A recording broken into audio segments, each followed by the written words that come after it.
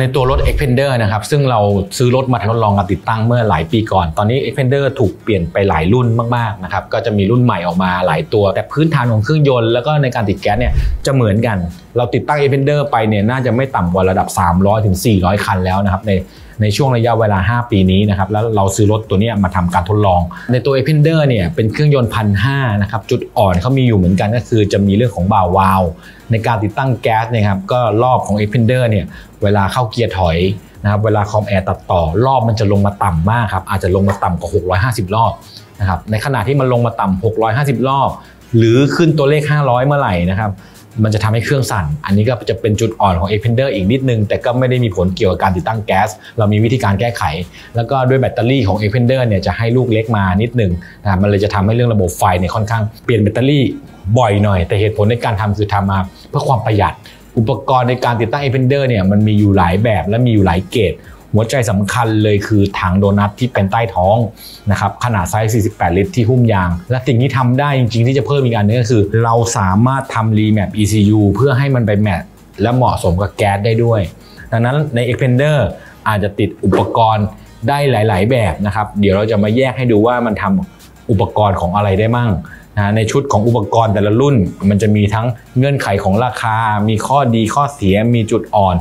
แต่ละอย่าง แต่อย่างน้อยถังจะต้องคงเอาไว้ที่ 42 หรือ 48 ลิตร ที่เป็นหุ้มยางเท่านั้น อันนี้จะเป็นตัวที่ทำให้ผ่านกฎหมาย ตัวที่ต้องระวังในตัว f อ n d e r อีกอันก็คือ อาจจะมีการเรื่องของบ่าววาลยัน มันจะมีผลเกี่ยวกับเรื่องของการจูนแก๊ส การรีแมป ECU หรือการใส่แท็บจะช่วยให้ f อ n d e r วิ่งได้ดีขึ้นนะครับจากประสบการณ์ที่เราทำซ้ำๆจำนวนเยอะแล้วเรามีเวลาอยู่กับรถนะครับแล้วรถที่เราทำไปน่าจะไม่ต่ำกว่า 400 คันอยู่แล้วในตลาดนะครับก็ ตัวนี้เป็นรถที่น่าใช้อีกรุ่นหนึ่งเลย เดี๋ยวเรามาดูเรื่องอุปกรณ์กันครับว่ามันจะสามารถติดตั้งยี่ห้ออะไรได้บ้างกล่องตัวนี้คือกล่องที่ชื่อรุ่นว่า Prince VSI 2 นะครับ ถูกพัฒนามาจาก VSI 1นะครับแล้วก็เริ่มขยับมาเป็น 2.0 แล้วก็มี 2.1 ตัวที่เป็นกล่อง ECU ทั้งหมดเนี่ยในตระกูลของ Prins เนี่ยเขาจะเรียกว่า AFC นะครับ คือย่อมาจาก Alternative ฟิลคอนโทรลคือนี่เป็นหัวใจสมองกลที่ฉลาดมากๆนะครับ แล้วก็มันมีคำสั่งมหาศาล ระบบเนี่ยประมวลในระบบการจูนเกือบ 3,000 กว่ารายการในการจูน ในระบบเนี่ยจะสามารถ track ระบบปัญหาของลูกค้าขึ้นในระบบ cloud ได้ ซึ่งถือว่าเป็นนวัตกรรมที่เป็นเกรดสูงสุดของ Prins เลยนะเวลานี้ถ้าไม่นับระบบ Direction นะครับตัวนี้จะเป็นตัวท็อปที่สุดในระบบที่เป็นหัวฉีด multi point อยู่ ด้วยรูปแบบที่เขาทำนี่ฮะก็จะเป็น กล่องอลูมิเนียมเลย แล้วก็มีตัวระบายความร้อนตรงนี้ด้วยนะครับส่วนปลั๊กเนี่ยปลั๊กที่จะมาเสียบเนี่ยจะต้องใช้ปลั๊กเป็นปลั๊ก Bosch ดังนั้นสายไฟของ Prins เนี่ยจะเป็นเกรดที่ค่อนข้างสูง แล้วก็ใน ECU ตัวนี้เองนะครับจะสามารถไปใช้ได้หลายรูปแบบและหลายผลิตภัณฑ์ของ Prins แต่ตัวนี้ถือเป็นกล่องที่ดีที่สุดณเวลานี้ของ Prins ที่เป็นกล่องใหญ่ครับ เรียกว่า VSI 2ตัวนี้เป็นรางหัวฉีดที่ชื่อว่าราง Prins นะครับ ในยุคสมัยก่อนเมื่อประมาณสัก 15 ปีที่แล้วเนี่ยครับ Prins เนี่ยจะใช้รางหัวฉีดที่เป็นราง Keihin ซึ่งในตอนนั้นจะเป็นรางเคอินที่เป็นรางเคอิน K8 นะแต่ต่อไปมันถูกพัฒนามาเป็นปริ้น VSI 2นะครับพอตอนที่เป็นปริ้น VSI 2เนี่ยบริษัทเคอินเนี่ยที่เป็นบริษัทที่ผลิตหัวฉีดให้ Honda เนี่ยนะครับเป็นราง K8 จะลักษณะประมาณนี้นะครับใหญ่ๆหน่อย รูปแบบเดียวกันเลย ปิ้นใช้ K8 อยู่ในระบบ VSI 1 นานมากนะครับ จนถึงวันหนึ่งเขาเปลี่ยนเป็น VSI 2 และบริษัท k อินนะครับถูกพัฒนาเปลี่ยนเป็นราง k อิน K9 ซึ่งมันเล็กลงเป็นสีดำปิ้นก็เลยเอาตัวนี้ขึ้นมาทดแทนรางหัวฉีด k อิน K8 ที่บริษัท k อินไม่ได้ผลิตแล้วนะครับเขาเปลี่ยนเป็นรูปแบบของ K9 สิ่งที่มั่นใจว่ามันจะดีได้คือตราบใดที่ปริ้นเอาแบรนด์ของตัวเองมาแปะในสินค้าตัวไหน แปลว่าเขาต้องเทสแล้วว่ามันสามารถใช้ทดแทนได้ และสิ่งสำคัญตัวนี้นะครับใส่ K8 อยู่ดึงออกเอาตัวนี้ใส่เข้าไปแทนใช้ได้เลย ดังนั้นตัวนี้ก็เลยถูกมาใช้ในชุดปริ้น VSI 2ที่ถือว่าเป็นอุปกรณ์ที่ราคาถูกกว่า K-in K9 แต่คุณภาพสูงมากนะครับ เราก็ใช้ตัวนี้ไป จำนวนเยอะมากนะครับ ตลอด 8 ปีคือไม่ได้มีปัญหาอะไรเลยนะครับคือถือว่าเป็นรางที่ใช้เกียรติที่ค่อนข้างดีมากๆเลยครับ ตัวนี้จริงๆจะดีกว่าฮาน่าอยู่นิดหน่อยด้วยซ้ำมันคือ K-in K8 นั่นเองรางเอาเปลี่ยนสเปคแทนกันใช้ได้เลย ในตัวชุดปิ้นที่เป็นวิสัย2ตัวนี้จะถูกอยู่ในชุดของเทคโนแม็กอยู่ในปิ้นวิสัย2หลายรุ่นนะครับ หลายๆ คนจะได้ใช้รางตัวนี้อยู่แล้ว นมากๆครับ ระดับการใช้งานนี่เกินแสนกิโลไปไกล ก็ทำเช็คระยะให้ถูกต้อง ไอ้ตรงนี้ก็จะใช้งานได้อย่างเหมาะสม สิ่งสำคัญคือมันมีทั้งหมด 4 เบอร์ 5 เบอร์นะครับหัวฉีดประเภทที่ไม่ต้องเจาะนะครับมันจะมีความยุ่งยากในการกำหนดการเลือกราง ยกตัวอย่างเช่นรถคุณพันห้าร้อยซีซีอาจจะต้องใช้รางเบอร์52ซีซีต่อหัวนะครับดังนั้น 4 หัวเขาจะคำนวณว่าเครื่องยนต์ประมาณนี้ควรใช้เบอร์ 52 มันจะวุ่นวายกับร้านที่สต็อกครับ แต่ข้อดีคือมันไม่ต้องมามีปัญหาเกี่ยวกับเรื่องการเจาะของช่าง อะไรที่ใช้ในซอฟต์แวร์ Prins ผู้กำหนดค่าเป็นหัวฉีดที่จ่ายเป็น linear นี่คือรางที่มีคุณภาพสูงมากๆแล้วในตลาด แต่มันจะต้องมีหลายเบอร์ต้องเลือกเบอร์ให้เหมาะสมกันนะถือว่าเป็นชุดที่ท็อปมากๆ ในการใส่รางประเภทตัวนี้ครับ นี้จะเป็นหม้อ Tomasetto Nordic สังเกตว่ามันจะเป็นรางตรงท่อน้ำเนี่ยจะเป็นสีดำแล้วตัวหม้อ Tomasetto เนี่ยเป็นหม้อที่เป็นมาตรฐานในระดับที่ใช้กันมาเป็น 10 10ปี และต้องจำไว้อย่างนี้นะครับ อุปกรณ์แก๊สเนี่ยมันไม่ได้หมายความว่ายี่ห้อนี้ดี รุ่นนี้ดี แล้วมันจะดีตลอดไปบางครั้งบางช่วงเวลาต่อให้มันเป็นอุปกรณ์รุ่นเดียวกัน มันอาจจะมีในล็อตการผลิตบางตัวที่มันเกิดปัญหานะครับ ดังนั้นเนี่ยเราหงษ์ทองเนี่ย เราทำรถค่อนข้างเยอะเวลาเราใช้เนี่ยเราจะเจอปัญหาค่อนข้างเร็ว ดังนั้นเนี่ยอยากให้ลูกค้ามั่นใจที่ตัวหงษ์ทองในการเลือกนะครับ เพราะว่าปัญหาที่มันจะเกิดเนี่ยมันจะไม่เกิดย้อนหลังคนที่จะต้องแก้จะเป็นเรา อุปกรณ์มันอยู่ที่ระบบว่ามันจะเป็นยังไงนะครับตัวเนี้ยหม้อนอร์ดิกเนี่ยมันถือว่าเป็นหม้อที่เป็นลูกใหญ่ณปัจจุบันเนี่ยถือว่าใช้ดี ก่อนหน้านั้นมันมีการเปลี่ยนตลอดเวลาวิดีโอหลาย ๆ ตัวบางทีพี่ดูเมื่อ 10 ปีที่แล้วเนี่ย รุ่นนั้นมันอาจจะเลิกผลิตไปแล้วนะครับการผลิตมันเริ่มมีการก๊อปปี้กันเยอะมาก เพราะฉะนั้นการจะซื้อของพวกนี้ต้องซื้อจากแหล่งที่ไว้ใจได้นะครับ หลายคนซื้อหม้อไปแล้วไปเปลี่ยนดังนั้นร้านจะไม่ได้รับผิดชอบเรื่องนั้น ผมแนะนำว่าให้ร้านเป็นคนประกอบซะนะครับเขาจะได้รับผิดชอบเรื่องนั้นได้ ตัวนอดิกเนี่ยมันเป็นหม้อที่รองรับในสเปค Data Sheet คือ 250 แรงม้า แต่แรงม้าที่เห็นเนี่ย นะครับ มันจะมีคู่มือเขาทางเข้าเนี่ยหม้อที่แรงม้าสูงๆเนี่ยจะเป็น 8 มิลนะครับดังนั้นการเดินแป๊บทองแดงจำเป็นต้องเป็น 8 มิลด้วย ถึงจะได้แรงม้าที่สูงตามนั้น ไม่ใช่ว่าเราใส่หม้อแรงม้าสูง แต่แป๊บทองแดงเราเล็กนะครับคือถ้าสเปคที่ 250 มันอาจจะลดลงมาเหลือสักประมาณ 180 แต่หัวใจคือเวลาใส่ไปแล้วแล้วเหยียบคลิกดาวแรงดันมันนิ่งไหม ถ้ามันนิ่งเนี่ยถือว่าใช้ได้ ตามสเปคเขาเลยเนี่ย จะให้เป็น 250แรงม้า ต้องใส่มันติวาลที่เป็นรู 8 มิลด้วย เขาเรียกว่ามันติวาลเอ็กตาแต่ในบ้านเราเนี่ยผู้นำเข้าไม่ได้นำเข้ามันติวาลที่เป็นเอ็กตาเข้ามาเลย มันก็เลยอาจจะมีข้อจำกัดตรงนี้ สิ่งที่เขียนเอาไว้ในสเปคใน Data Sheet คือ 250 ใช้งานจริงยังไงอันนั้นอีกเรื่องหนึ่งนะครับ แต่ว่าตัวนี้เราเลือกมาใช้ในระบบที่ร้านเพราะเราเห็นว่ามันค่อนข้างนิ่งมากๆนะครับ ในล็อตบางล็อตนะครับในบางล็อตไหนที่ไม่ไม่ไม่นิ่ง เราจะเปลี่ยนเป็นยี่ห้ออื่น ตรงนั้นอยากให้ลูกค้ามั่นใจในสิ่งที่เราเลือกให้ ตัวหม้อ Tomasetto เนี่ยก็จะเป็นการผลิตที่เป็นของอิตาลีถือว่าเป็นหม้อราคาที่ไม่สูงนะครับแล้วก็ได้คุณภาพที่ค่อนข้างดี จุดอ่อนมันจะมีอยู่นิดหน่อยก็คือมันมีปะเก็นคือเกือบทุกยี่ห้อครับมันก็จะมีโอกาสรั่ว แต่ก็อาจจะใช้งานกันไประดับที่เยอะมากๆนะครับแสนสองแสนโลก็อาจจะมีการรั่วซึมตรงนี้ได้บ้างนะครับในตัวเปลี่ยนก็จะมีกองแก๊สอยู่ด้านบน นะครับกองแก๊สก็จะมีเป็นกองกระดาษ เป็นเขาเรียกว่ากองกองหยาบ ส่วนกองละเอียดก็จะเป็นอีกส่วนหนึ่ง แต่นี่กองหยาบจะเป็นตัวที่ติดกับหม้อแล้วก็พวกโซลินอยเนี่ยฮะคือปัญหาไม่ค่อยมี จะเป็นหม้อที่เป็นตัวล่างสุดที่หงทองจะใช้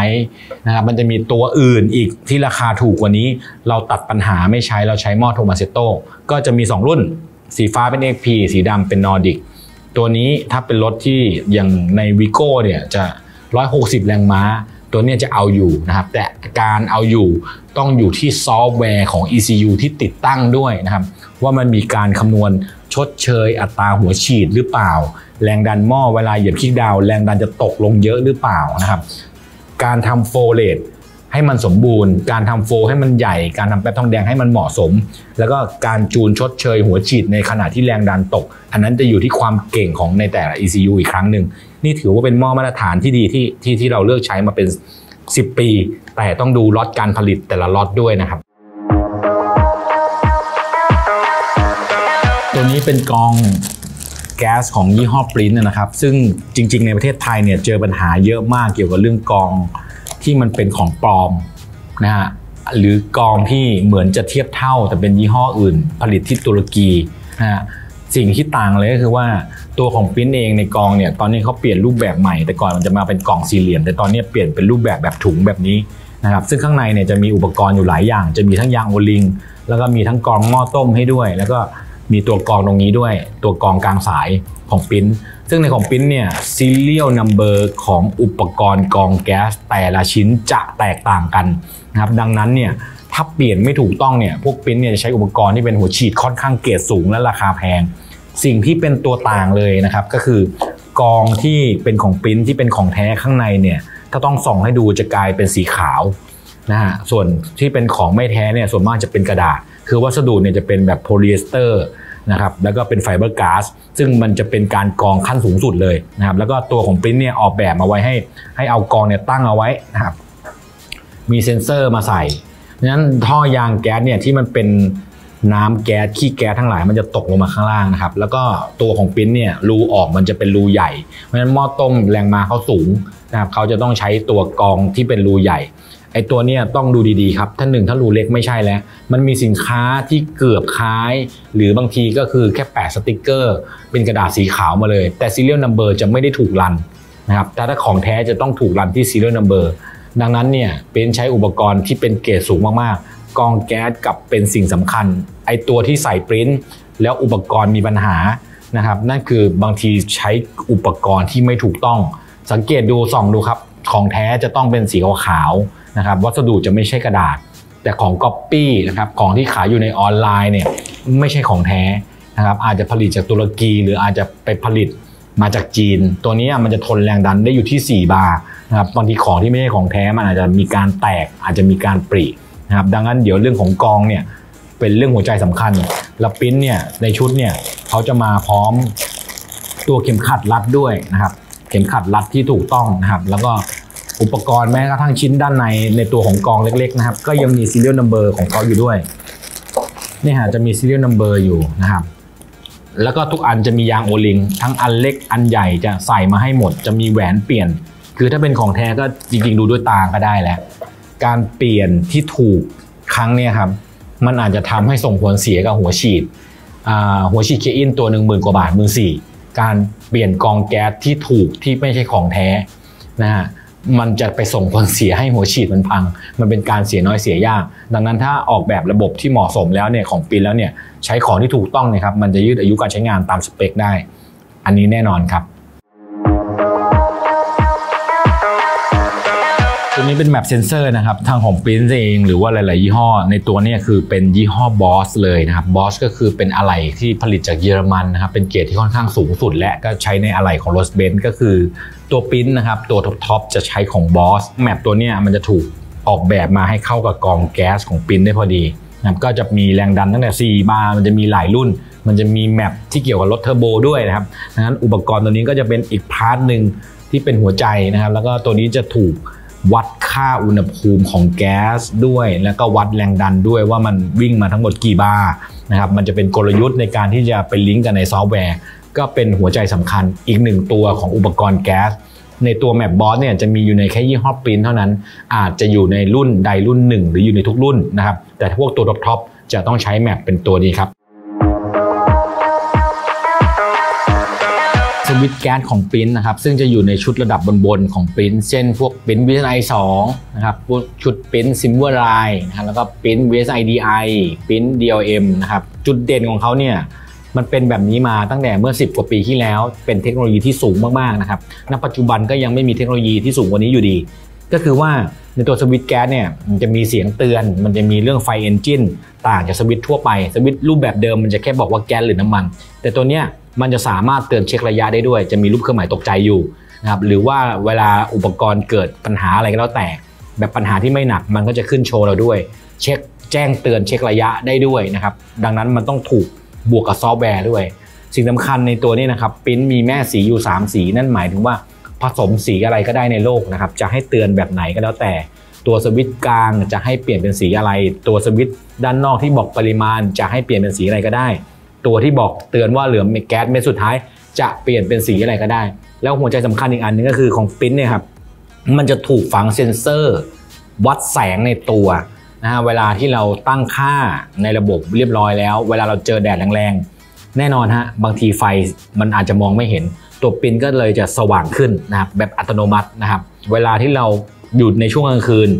อาจจะเจอปัญหาว่าสวิตช์แก๊สมันแทงตามันแยงตา ตัวปิ้นจะถูกหลีไฟลงไปเอง แบบอัตโนมัติ แบบ real-time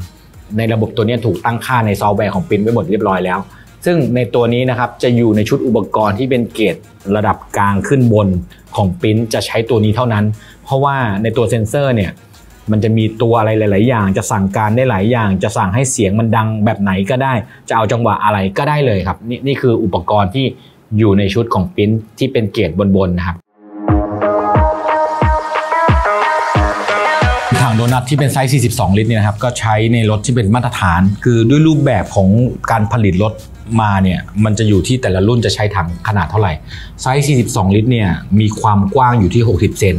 แล้วก็สูงที่ 20 เซน ส่วนไซส์ถังที่เป็น 48 นี่ความกว้างของไซส์ 48 หรือ 49 ลิตรเนี่ยจะอยู่ที่ 630มิลลิเมตรคือ 63 เซน แล้วก็จะสูงอยู่ที่ประมาณ 200 ก็คือ 20 เซนถังโดนัทที่เป็นถังหุ้มยางอะไหล่และไว้ใต้ท้องรถเนี่ยนะครับเป็นงานที่หงทองทำได้ดี แล้วก็ลูกค้าจำนวนเยอะมากทำอยู่แล้ว นะครับเราทำถังโดนัทใต้ท้องไม่ต่ำกว่าเป็นหมื่นหมื่นคัน วิธีการของเราเราจะใช้ยางใหม่ในการมาหุ้มถังนะครับเราไม่ได้เอาแต่ยางมาแล้วหุ้มเลยเราเราใช้ลวดในการมัดเพื่อให้มันแน่นนะครับแล้วแล้วก็เราเอาซิลิโคนซีนนะครับในกระบวนการการตัดยางของเราเนี่ยเราจะคำนวณมันต้องเป็นยางไซส์ที่เป็นเบอร์เป๊ะเท่านั้นมันจะไม่แน่นเกินไปแล้วมันจะไม่หลวมเกินไป ส่วนข้อดีครับ ข้อดีของการเอาถังหุ้มยางอะไหล่เนี่ยในตลอดรถที่หงทองติดตั้งไปนะฮะ ย้อนมาจนถึง 10 ปี วันนี้เราถึงยุคที่ถังแก๊สถึง 10 ปี จะต้องเปลี่ยนหรือตรวจสภาพใหม่นะครับแต่ถังที่เราติดตั้งไปเนี่ยส่วนมากก็คือมันไม่ได้เกิดการมีสนิม เพราะเรากันน้ำเข้าหมดเลยทั้งระบบนะครับแล้วก็ในเรื่องของเชิงกฎหมายที่มันจำเป็นต้องมีแผ่นเหล็กใต้ท้องนะครับแต่เราเราก็สร้างเป็นแผ่นเหล็กไว้ด้วยแล้วก็แผ่นเหล็กเนี่ยเราตัดกลมแล้วเราก็มาเคาะให้มันเข้าโค้งพอเข้าโค้งเนี่ยเราจะยึดน็อตในทุกตัวหลาย ๆ มุม ซึ่งพอทำเสร็จเราจะซีนซิลิโคน ทับอีกทีหนึ่งส่วนด้านล่างเนี่ยเราจะมีฝาปินโตในการเปิดดูนะครับ แล้วก็ในระบบขาที่เราวางไว้ด้านบน ส่วนมากเราจะใช้เหล็ก 8 มิล 8 มิลนะฮะในการยึดถังในการสร้างแผ่นเพจขึ้นมา เพื่อดีไซน์เพื่อให้มันตรงแต่ละรุ่นนะครับ เพื่ออะไรฮะหนึ่งเพื่อ balance ถังให้มันเสมอพื้นนะครับสองอาจจะต้องขยับเข้าไปเพื่อให้มันผ่านกฎหมาย ดังนั้นเราจะไม่ได้ใช้แหล่งยึดแกนกลางของที่ยึดยางอะไหล่เพราะว่าไม่งั้นมันจะทำให้เราต้องใช้ถังไซเล็ก ส่วนมากหงษ์ทองจะทำให้มันเติมได้เยอะขึ้นมากๆ แต่ในกระบวนการทำเนี่ยหนึ่งลูกเราจะอาจจะใช้เวลาทำเกือบ 5 ชั่วโมงเกือบ 6 ชั่วโมง มันมีต้นทุนในการทำที่สูงขึ้น มันมีวัสดุมีอุปกรณ์ที่สูงขึ้น ดังนั้นการวางถังโดนัทใต้ท้องมันเลยจำเป็นต้องมีราคาที่เพิ่มขึ้นยิ่งช่วงเหล็กแพงก็อาจจะจำเป็นต้องแพง แน่นอนฮะกระบวนการมันเพิ่มขึ้นเยอะมาก เพราะว่า เราต้องตัดแต่งเราต้องสไลด์ถังเข้าไปด้วยการคำนึงกฎหมายด้วย ยางที่หุ้มเนี่ยมันจะรักษาอุณหภูมิไม่ให้ท่อไอเสียเนี่ยเกิดความร้อนหรือเวลาที่พี่วิ่งบนพื้นถนนเนี่ยความร้อนมันไม่ได้ถูกถ่ายเท จากการเป็นแผ่นเหล็ก เพราะแผ่นเหล็ก มันจะต้องถูกยึดและถูกวิ่งเข้าไปที่ถัง เวลาเราเติมแก๊สเนี่ยฮะมันจะเกิดแรงต้านเพราะอุณหภูมิในถังมันสูงขึ้น วิธีการที่เราทำเนี่ยทั้งหุ้มยางไม่ใช่แค่ดีไซน์ของความสวยงามนะครับแต่เป็นของเรื่องของความปลอดภัยด้วยนะครับหินที่มันจะดีดขึ้นมาเนี่ยถ้าเป็นแผ่นเหล็กมันอาจจะเกิดประกายไฟอะไรได้ แต่ในการที่มันเป็นยางเนี่ย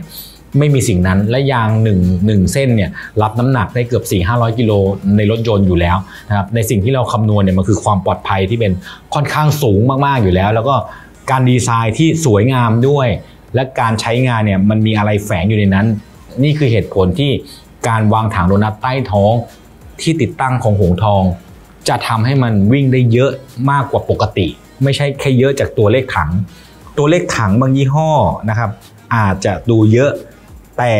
เราต้องมาวัดกันในปริมาณแก๊สที่เราเติมได้ครับ การวางขาการวางแบบมันถูกคิดมาแล้ว แล้วมันเกิดการทำซ้ำ ในจำนวนปริมาณไม่ต่ำกว่า 1 0,000 ลูกเลยนะฮะที่เราทำกัน ก็เร็วๆนี้เราอาจจะมีขา